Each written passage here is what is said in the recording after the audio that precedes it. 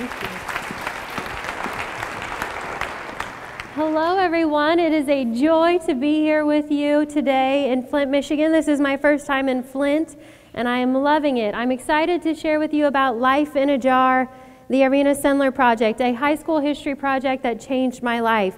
So in 1999, I was a freshman at Uniontown High School in Uniontown, Kansas, a small rural school in southeast Kansas, all white, Protestant, absolutely no diversity in the high school. Uh, 120 students in the high school. But we had an amazing high school history teacher named Norm Conard, and he wanted to bring diversity into our classroom by taking the stories of unsung heroes, doing in depth research, and putting together documentaries, performances, exhibits, websites, an amazing avenue to bring uh, an opportunity to teach respect and understanding for all people, regardless of race, religion, and creed. So I, along with two other students, joined and we decided we wanted to write a group performance and we wanted to learn more about the Holocaust. So we asked our teacher, Do you have any ideas? And Mr. Conard gave us a box of clippings, newspapers, magazine articles that he gathered throughout the years. And we found a 1994 News and World Report article entitled Other Schindlers featured eight rescuer stories, and one of the paragraphs said Irena Sendlerova saved over 2,500 Jewish children from the Warsaw Ghetto during the Holocaust. Our immediate thought was 2,500. This has to be a typographical error because if she saved twice as many plus what Oskar Schindler did, and she's a female, why haven't we heard her story? Surely they meant 250. So we asked Mr. Conard, Have you heard of her?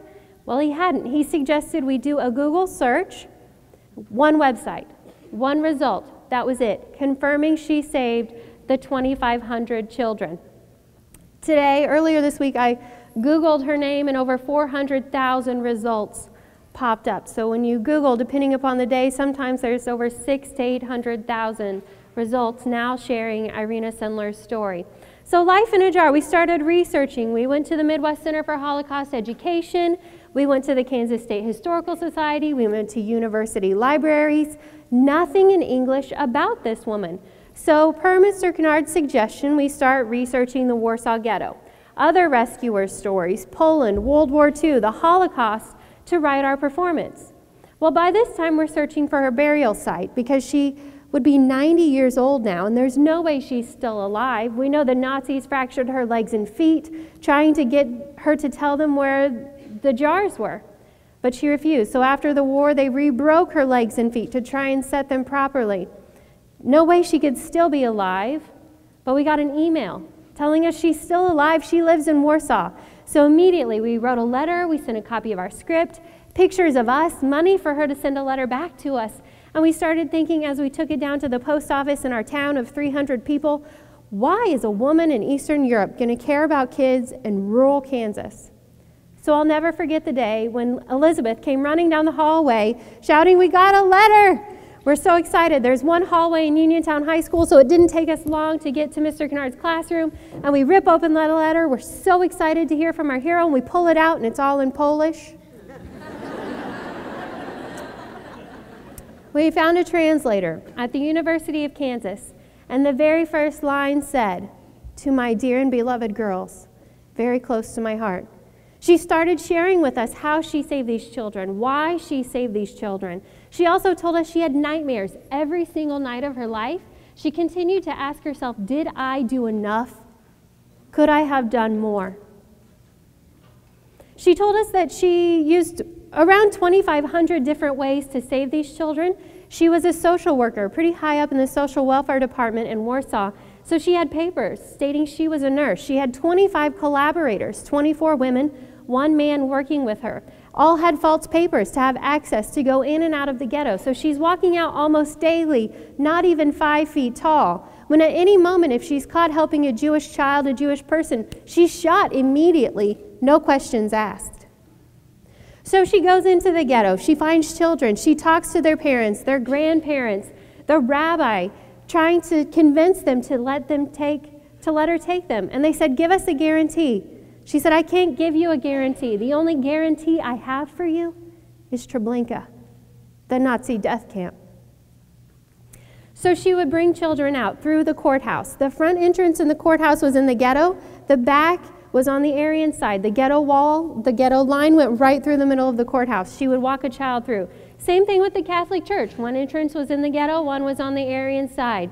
She dressed the little boys as girls, dyed the little girls' hair blonde, trying to disguise them, teach them a Polish prayer. So if they were stopped, once on the Aryan side, they could speak Polish instead of Yiddish.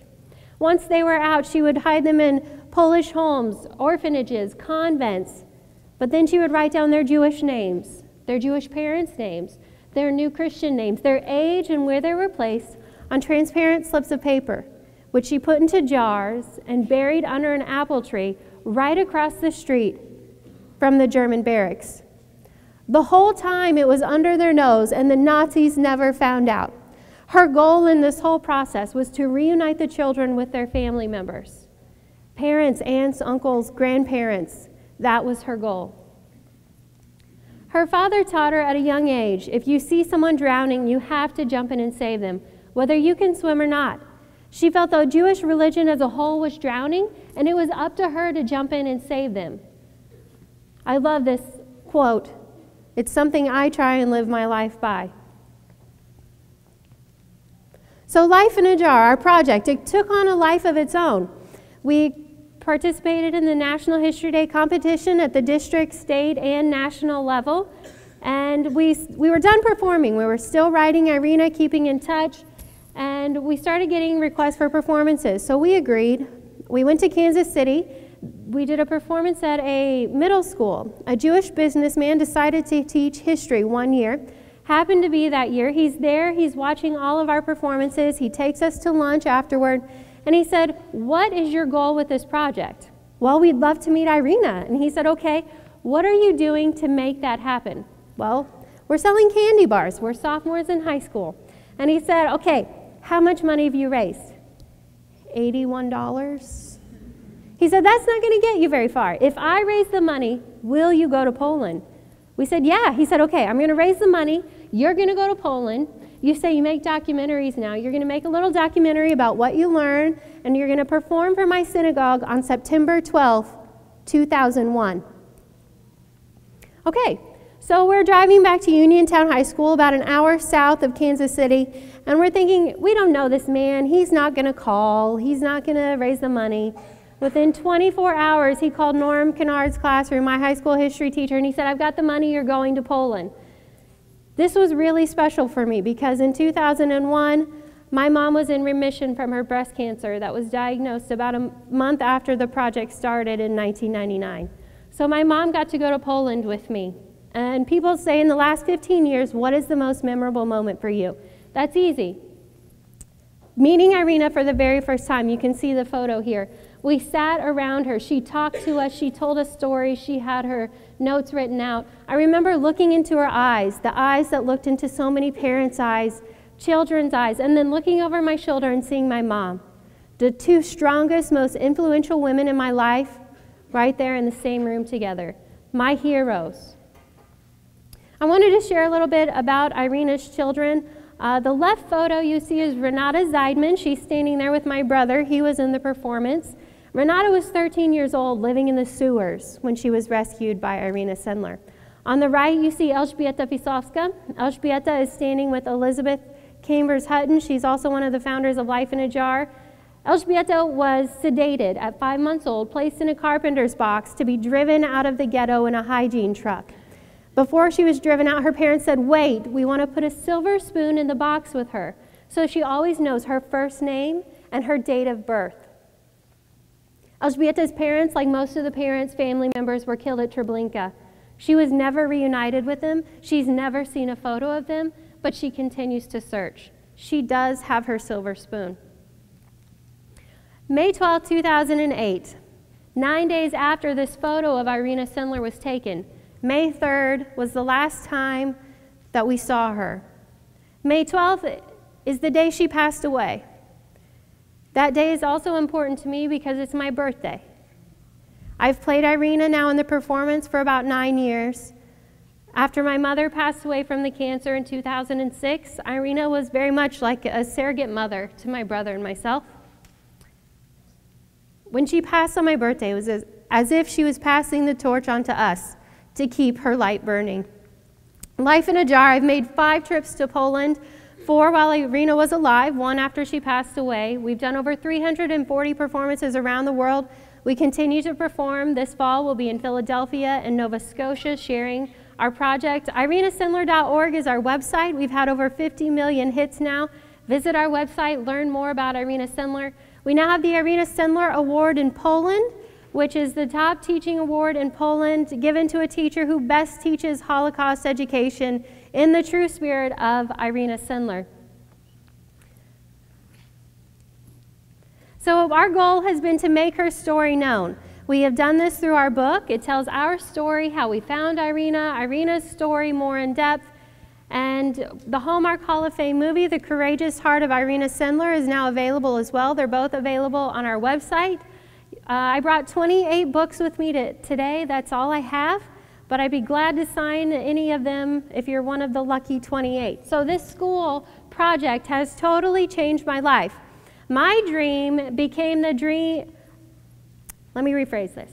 The dream of my high school history teacher, Norm Conard, became his dream became my dream. Our dream was to start a center, a foundation, a nonprofit where we could work with teachers and students around the world teaching them how to create projects like Life in a Jar. Well, we now have that nonprofit foundation, and it is the Lowell Milken Center for Unsung Heroes located in southeast Kansas. We work with teachers and students around the world teaching them how to do this. We've had project in all, projects in all 50 states, 27 countries. We've worked with over 7,000 schools, 1 million students since we opened our doors in 2007. The idea of taking an unsung hero, doing in depth research, creating performances, documentaries, exhibits, websites, sharing these role models is a passion and it, it, ignites a fire inside of these students. We also bring national award winning teachers to Fort Scott to spend time learning how to create these types of projects, and then they go back into their classrooms the following year to collaborate. Gene Shoemaker is an unsung hero, real quickly. He's the father of astrogeology. He discovered the origin of Meteor Crater in Arizona. He and his wife, Carolyn, and David Levy discovered Shoemaker Levy Comet. He was supposed to be the first scientist on the moon, but he had Addison's disease, so he was unable to go to the moon. He was killed in a plane or a car crash in 1997. So to honor him, NASA sent his ashes in a lunar space probe. So we call this project Ashes on the Moon. You can find out more about the Lowell Milken Center, Life in a Jar, on Facebook, Twitter, YouTube, on our websites. I want to leave you with one thought. My high school history teacher, Norm Conard, who's now the executive director at the Lowell Milken Center, he says, Young people, this is for all the young people here today. You have the ability to reach over the walls of bias and prejudices that adults can never attempt to reach. Do not carry that ability lightly. Take hold and make a change. Thank you.